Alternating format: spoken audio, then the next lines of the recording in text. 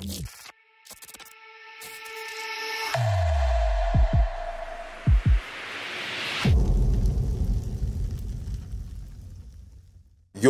it is, YouTube? It's your boy Nitsa coming back with another bullseye of a video here today on the channel. I wanted to speak about is distortion truly a bad thing? I think there's a misconception amongst like the younger crowd of people who making music. Usually when we think about distortion, we thinking about digital distortion. Ooh, that's bad. That's gonna make my music sound bad. But I wanted to go and talk a little bit today about the other side of distortion, which is kind of like the analog distortion, the way it breaks up. It could give us a lot of weight, a lot of chest, a lot of tone in our music music might, um, you know, help bring things to life, help the music kind of jump off of the page. So the unit that I have right here is the uh, UAD Culture Vulture. I think this is a very interesting unit because it was kind of like one of those very first units that put an emphasis on tube valve distortion. So many of these plugins that we like to use, like the CL1B, um, they have like the input and the output is pretty much using tubes. And the, the sound of the tube is very important. And sometimes even when you overdrive that tube, when you hit it with a high level, it can be actually very pleasing or give you kind of a,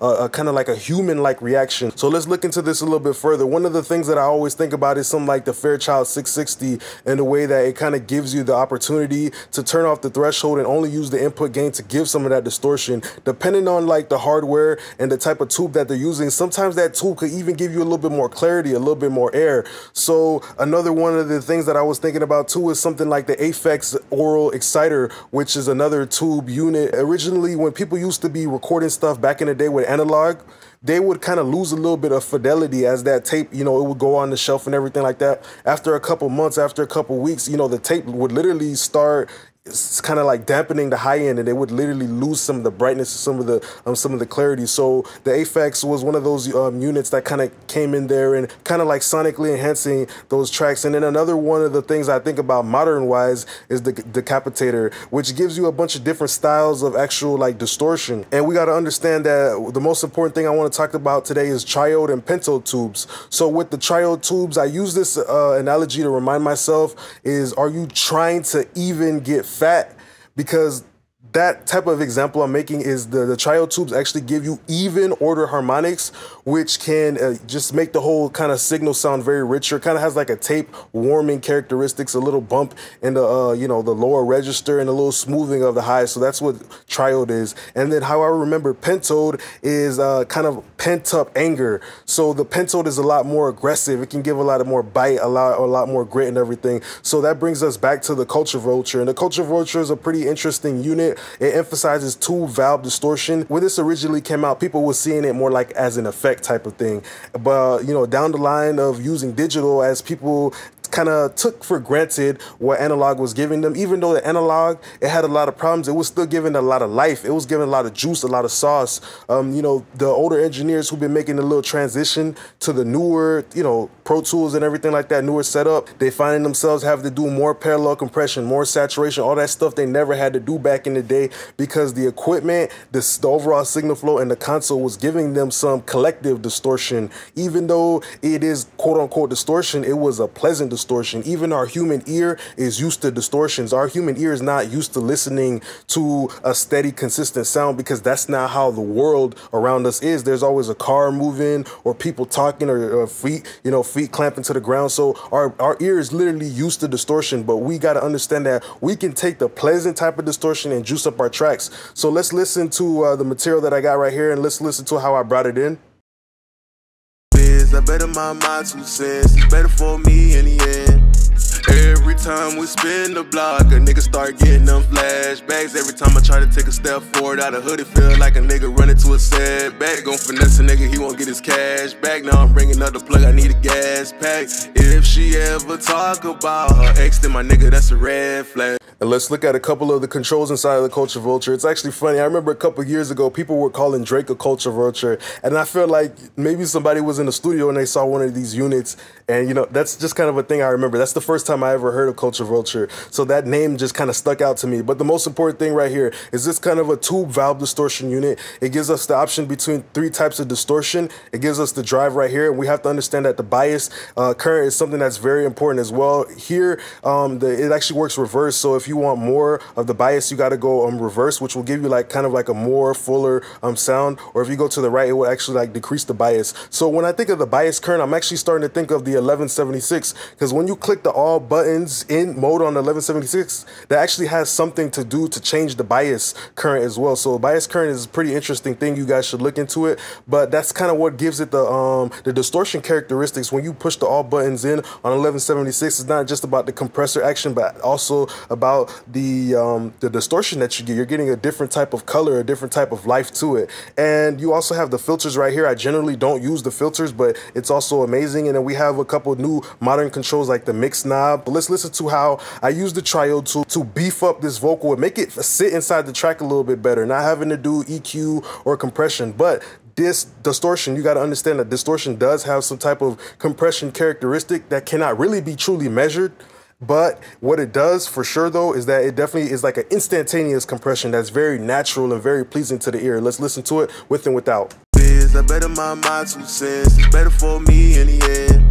Every time we spin the block, a nigga start getting them flashbacks. Every time I try to take a step forward out of hood, it feel like a nigga running to a setback. Gon' finesse a nigga, he won't get his cash back. Now I'm bringing up the plug, I need a gas pack. If she ever talk about her ex, then my nigga, that's a red flag. I better my mind two cents. It's better for me in the end. Every time we spin the block, a nigga start getting them flashbacks. Every time I try to take a step forward out of hood, it feel like a nigga running to a setback. Gon' finesse a nigga, he won't get his cash back. Now I'm bringing up the plug, I need a gas pack. If she ever talk about her ex, then so it definitely sounds very good. Kind of sounds like I made a slight EQ move, but you just hear how the song is just sitting uh, a little bit better. It sounds a little clearer, a little bit more clear. Even though the vocal was finished being processed, I used a little bit of saturation to give it a little bit of that bright that little bit of sparkle, a little bit of that magic, a little bit of that wand, you know. And it's it's very interesting. I feel like the CL1B is another one of those things that also gives me that effect. Even when I turn off the CL1B and I don't use it, I just use it as like just to hit it and get some of that tube sound. I feel like it's giving me some clarity, some magic. Same thing goes with a Pultec. So I'm trying to help you guys really just understand today that um, tubes are amazing and distortion is something that you should not put to the side just because you see a plugin says distortion and you're thinking of digital distortion. Just know there is some definite definite benefits to it. And lastly, I want to show you how the um, Thermionic Culture Vulture sounds like on the whole entire mix. And the Culture Vulture is pretty interesting what it does to a bass at 808. I think that even if you tried to use this, guys, if you demo it, what it can do for your 808 or two track beat is it can definitely juice it up. But specifically, when I'm thinking about the decapitator, people love that for the 808. Distortion is amazing. Uh, and what, what it does with the overtones, you know, it can kind of like pull out some of the note of the 808, you know, because the 808 is not just all sub. There's usually a little bit of click or some other things kind of going on in the upper mid range that if you use saturation rather than the EQ, it can bring it out to life. It can make the 808 actually sound a little bit louder than what it, what it really was. So let's pay attention to how I use the um Culture Vulture to just juice up this whole mix. I better mind two cents. Better for me in the end. Every time we spin the block, a nigga start getting them flashbacks. Every time I try to take a step forward out of hood, it feel like a nigga running to a setback. Gon' finesse a nigga, he won't get his cash back. Now I'm bringing up the plug, I need a gas pack. If she ever talk about her ex, then my nigga, that's a red flag. I don't, I don't got time for no blues coming from you unless we talking about the ones in your pocket. My niggas been popping them shots at them ops up and pumping no bills, say couldn't even stop it. Disappear safe for niggas who don't wanna M. Shot it like an angel, but she got it, you grin. I done got it off slab, then I got it off the whim. Jimmy Choo, what I choose, I just really wanna get them. I don't know what to believe no more. Like everything I hear is a lie to my face. I don't wanna give out the benefit of the doubt. I done seen what she on and I seen what she about. Every time I think about these streets and make a nigga mind my own biz. I better mind my two cents. It's better for me in the end. I don't know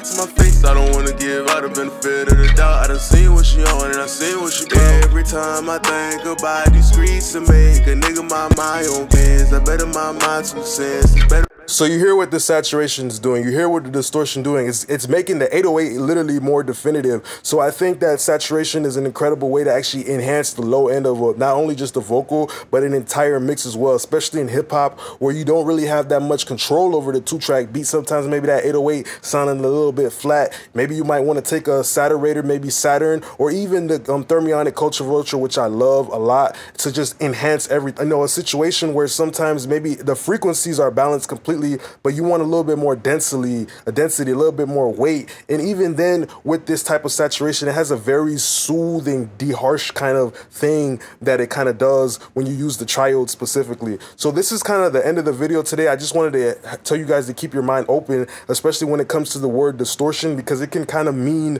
uh, you know, like like many other words in the you know music game, it can mean a bunch of things to a bunch of different people. But I'm just letting you know that some of these compressors, EQs, all of these things like the EQP1A or the Fairchild or whatever, you know, the input and the output stage, what it has in it is also very important as to why we love it. So you should always be trying to pay attention to that stuff to help you improve your sound, you know? Just because it says distortion, don't be like, oh, well, it's distortion, I can't use it. Because it could really maybe be the missing element to your music. Just want to say thanks a lot for being a great part of my YouTube family. I do appreciate y'all. Don't forget to like, comment, and subscribe. Any more ideas for videos, drop it down below. Appreciate it now. Peace.